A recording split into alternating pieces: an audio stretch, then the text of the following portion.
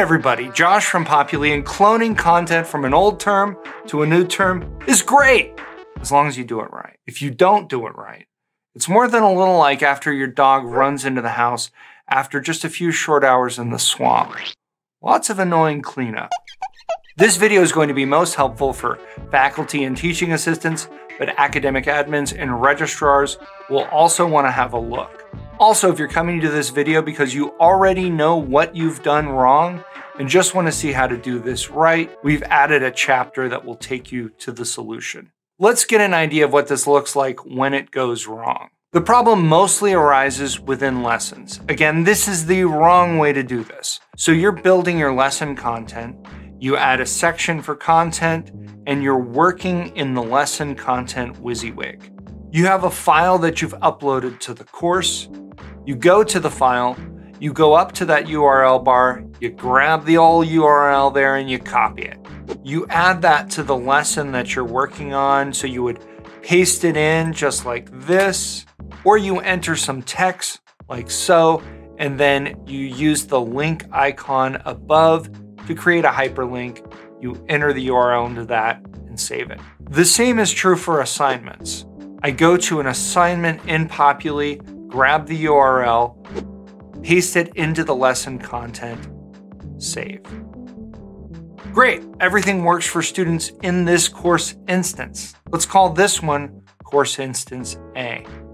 But then next term rolls around and you create course instance B and you import files, assignments, and lessons from course instance A. And then students go to the lesson and try to access those links for files and assignment, and it's no dice.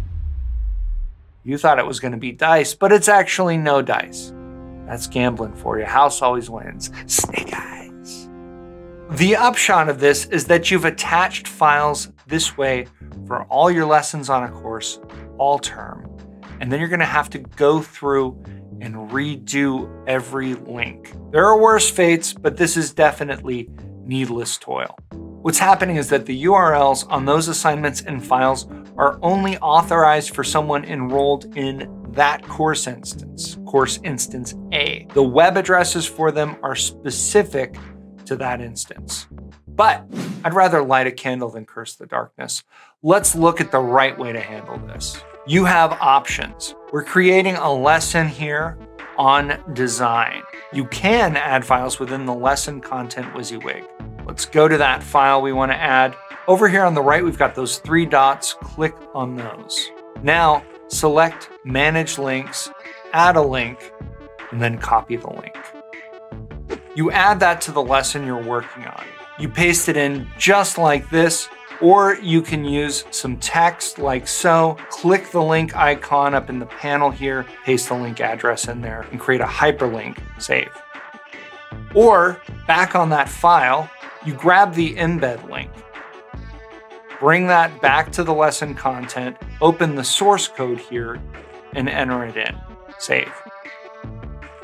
You have another option. You can add a file directly to this lesson. You add a section for file, you upload the file, make whatever adjustments to these settings, and then you save.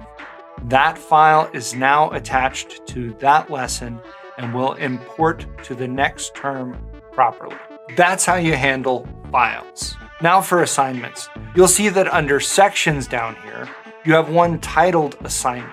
Click that and you'll find that this drop down here lists your available assignments. Select one of those, make your adjustments to the settings, and save. This has been our course A done correctly. Let's go to the next term's course, course B. We've imported those files and assignments and lessons, and let's see how this works for students. Student clicks on any of the hyperlinked files, or the student clicks on the assignment here, the links all work. Now you can confidently import this content on courses from term to term without having to redo all those links every term. Wow. I mean, wow. Do you want to dig deeper and get more value out of Populi for your school? Join our Discord server. It's where Populi users can ask each other questions and capitalize on community knowledge. If you want to become part of that community, go to help in Populi and choose join the user community. That'll take you to a spot that has instructions about how you can get set up. I've been Josh for Populi. You've been great. Thanks for watching.